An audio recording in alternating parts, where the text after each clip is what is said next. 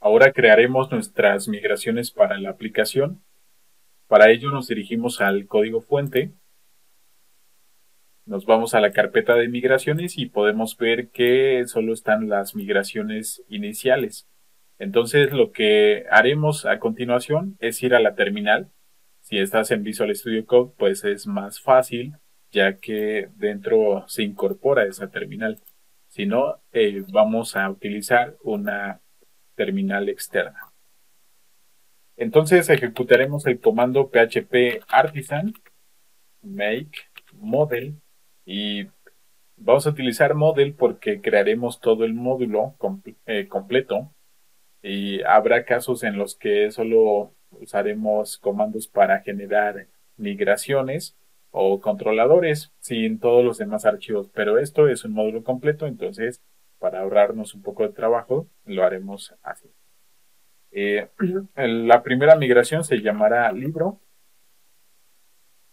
y vamos a agregarle una A al final para que nos cree toda la estructura. Presionamos Enter. Ya se han creado todos los archivos a través de este comando.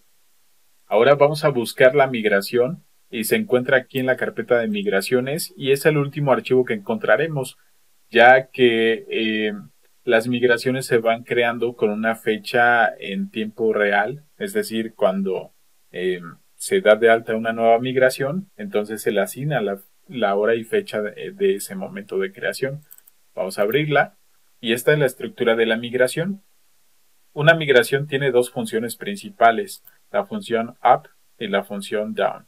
En la función up eh, nos indica que se creará la tabla, la tabla se llama libros, y utilizará una función blueprint eh, llamada table para ir creando cada uno de los campos necesarios. Si nos vamos a, la documentación oficial del Laravel, vamos a encontrar una sección dentro de su documentación llamada eh, base de datos y dentro de esta base de datos la sección de migraciones en donde eh, encontraremos el tema llamado tipos de columnas disponibles.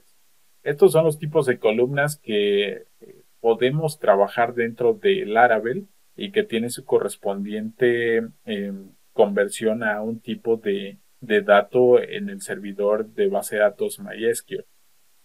Eh, por ejemplo, si queremos escribir un dato de tipo varchar, entonces, el equivalente en, una, en un método de Laravel es string. Si nos vamos a un string, podemos ver en la documentación que la eh, columna equivalente es un varchar.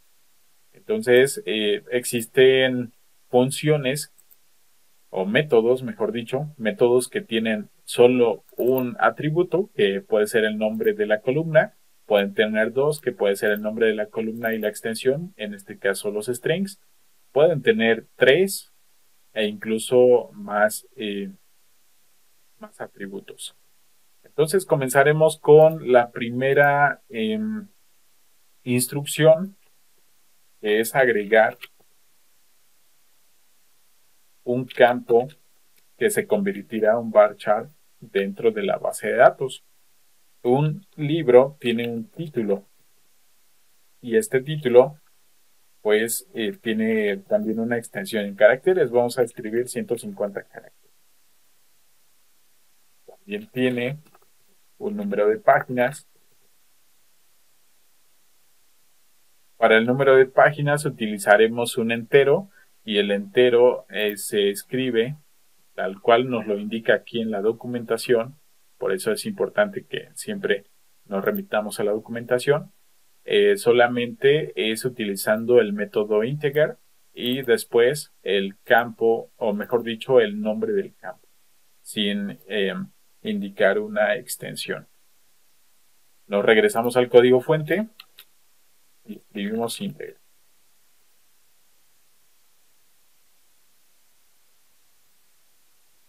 Es importante que si el campo tiene más de una palabra, pues toda la coloques en una sola palabra y eh, utilizando la notación de camello o la notación pascal o todo en minúsculas o como tú gustes, pero en una sola, eh, en una sola palabra.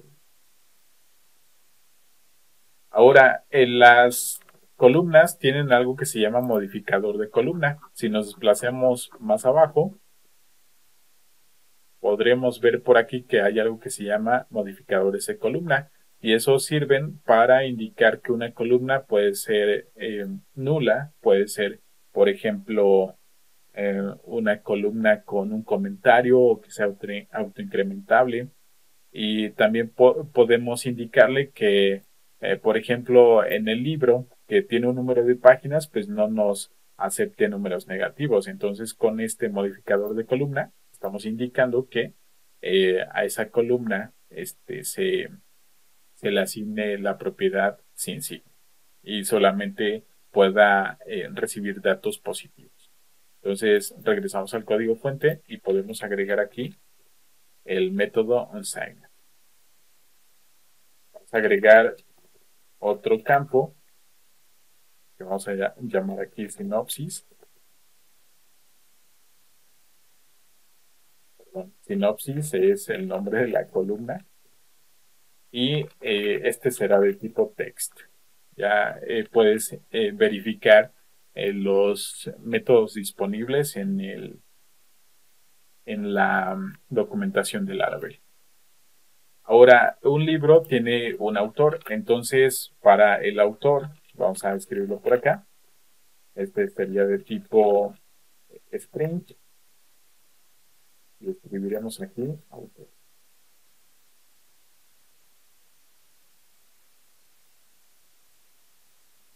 Y a este le vamos a dar 150 caracteres. Ahora vamos a ejecutar nuestra migración. Para ejecutar la migración, simplemente escribimos el comando php artisan migrate. Y podemos ver que esta migración ya se ha ejecutado. Si nos vamos al navegador en phpMyAdmin y actualizamos esta estructura de base de datos, pues vamos a ver que por aquí ya aparece la tabla libros. Pero aquí hay un detalle. El detalle es que eh, autor debe tener su propia información. Entonces quiere decir que necesitamos otra migración para autores. Vamos a ir a nuestra terminal. Voy a limpiar esto y voy a ejecutar el comando php artisan make model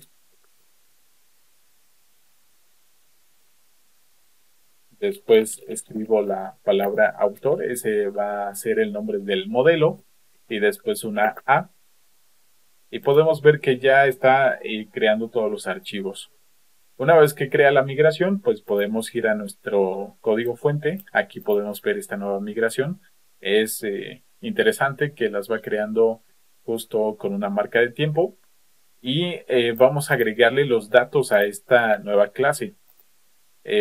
¿Cómo sabemos que estamos en la en el archivo correcto? Pues porque en la parte superior aparece el nombre correspondiente del archivo, aquí es de autores y es una migración.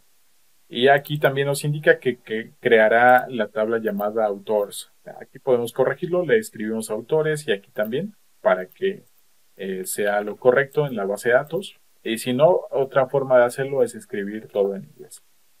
Vamos a utilizar el Print Table y vamos a ingresar su nombre.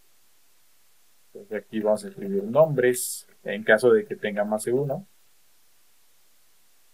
Después vamos a ingresar su apellido paterno. O eh, puede ser sus apellidos, pero bueno, voy a ingresar apellido paterno.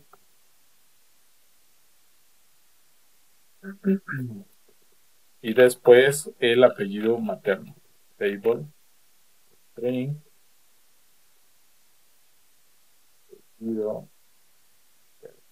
Puede ser que haya autores que no tengan un apellido materno. Entonces vamos a corregir ese apartado. O puede ser también que haya autores que tengan más de 50 caracteres en su nombre vamos a colocarle 80 y si no es necesario, pues lo podemos reducir después. Ahora vamos a indicar que el apellido materno pueda ser nulo, es decir, que no sea obligatorio escribirlo en caso de que el autor no tenga un segundo apellido. Entonces, por aquí tenemos algo, uh, un modificador que se llama nullLabel. Lo buscaremos, aquí está. Entonces, con este, con este método, indicamos que el, que el campo sea nulo. Vamos a abrir los paréntesis. Vamos a colocar aquí otro tipo de, perdón, otro, otro campo. Y este va a ser, voy a pasar hasta el inicio e ir otra vez a los tipos de columnas disponibles. Este será de tipo datetime, perdón, eh, de tipo date únicamente porque vamos a especificar una fecha de nacimiento. Entonces me regreso a, aquí a el, código fuente y escribo date. Y aquí escribimos fecha nacimiento. Y entonces también eh, podemos escribir eh, otra fecha para fecha de fallecimiento en caso de que el autor eh, pues ya haya fallecido.